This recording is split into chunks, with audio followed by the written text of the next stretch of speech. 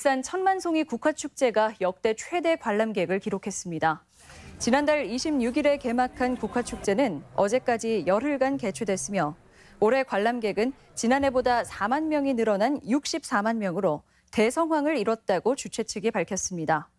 특히 특별 전시장 유료화와 농특산물 판매 부스가 농가 소득 증대에 기여한 것으로 분석됐습니다.